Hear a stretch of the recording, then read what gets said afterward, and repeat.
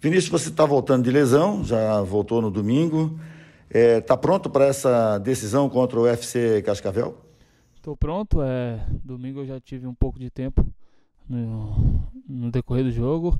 É, a gente sabe que vai ser um jogo muito difícil, mas a gente está focado, a gente está concentrado e tem certeza que se a gente fizer o nosso melhor, a gente vai conseguir um resultado positivo. É, Copa do Brasil é diferente do estadual, um jogo de mata, né? Porque é um jogo que decide a vaga, tem muita importância porque é um valor alto. Como é que você vê isso? Como é que, que você está sentindo isso no grupo? Ah, o grupo vem trabalhando bastante, a gente está bastante focado, a gente sabe que tem que ter muita concentração, porque é um jogo que não, não pode ter erros, então a nossa equipe está bastante concentrada e eu tenho certeza que o que a gente vem treinando a gente vem colocar na quinta-feira.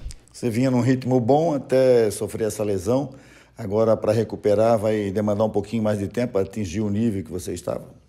É, ainda eu sinto um pouco a falta de ritmo de jogo, mas eu estou adquirindo isso no decorrer dos treinos e eu tenho certeza que o mais breve você vou estar na minha melhor forma. Como é que você está sentindo esse novo momento do Havaí aí, já classificado para outra fase de mata-mata, agora a Copa do Brasil?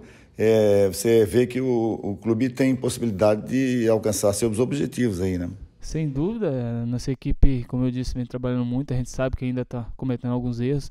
A gente tem que minimizar isso, mas é, é, um grupo muito bom, um grupo muito unido e eu tenho certeza que a gente vai conquistar nossos objetivos no decorrer da temporada. Já está adaptado a Florianópolis, a cidade, ao clube? Sim, muito adaptado. A, a cidade é maravilhosa, o clube então nem se fala. Então eu estou muito feliz é, de estar aqui no Havaí. Espero poder sempre dar meu melhor.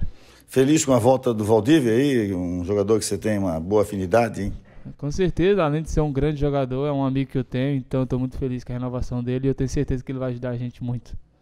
O que, que a gente pode falar desse FC Cascavel é, Copa do Brasil? Você jogou lá contra o Palmas, enfim, esse confronto novo.